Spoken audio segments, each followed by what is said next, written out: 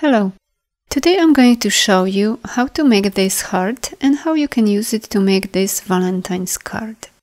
First open a new document, let's get rid of the stroke and change the fill to red. Next go to view and make sure the smart guides are selected. Now select the pen tool and let's draw a heart. Hover over the smart guide, then click on it, hold and pressing down the Shift key, move your mouse up to draw a straight line. Then release the mouse. Now move over to this guideline, click on it, hold, and pressing down the Shift key, move your mouse down. Try to get these two top Bezier handles at about the same level. Then release the mouse. Now move down to this guideline and click somewhere here. And finally, click on the beginning anchor point to close the path. Next we'll make a second part of our heart. To do that, press the letter V on your keyboard for the selection tool and drag a box to select everything. Now go to the reflect tool or press the letter O on your keyboard and holding down the Alt key, click on this anchor point to set the reflection point. Choose the vertical axis and click copy. Next we will unite these two parts. Select everything, go to Pathfinder.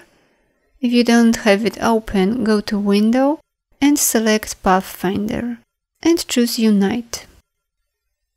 Next we will add a glassy effect to our heart. To do that, first let's copy this heart. Press the Ctrl and C buttons on your keyboard to copy it and Ctrl F to paste it in front. When you go to your Layers panel, you can see we've got an extra heart. Let's select the bottom heart and make it bigger. Now let's change the fill of the bottom heart to dark red. Before we move on to the next step, let's make one more copy of the smaller heart. We will need it later.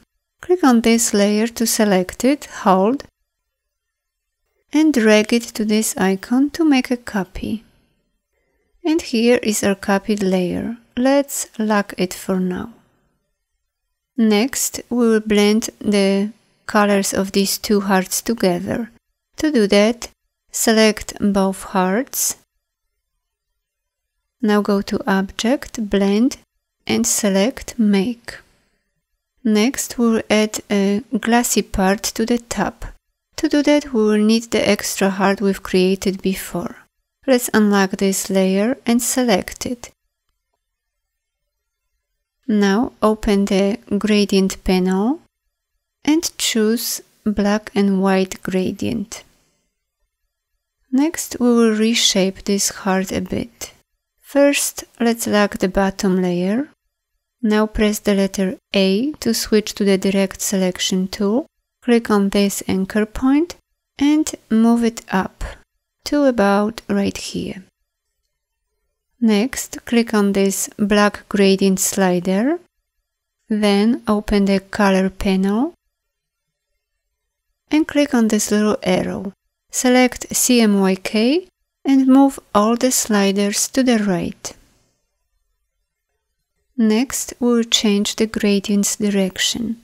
To do that, click on the angle window and set it to negative 90. And finally, open the transparency window. If you don't see it, go to window and select transparency. And change the blending mode to screen.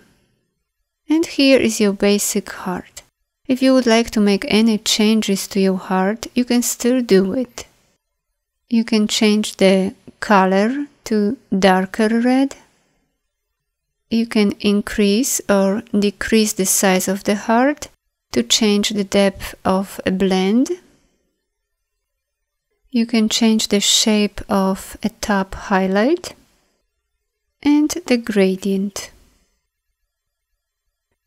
Of course, you can save this heart to your symbols library to create something like this, for example. To do that, unlock this layer, select everything, make a copy, resize it, now make a new layer, open the symbols window and drag this little heart here. Now lock the bottom layer, select the tab layer and using the symbol sprayer tool, add lots of little hearts.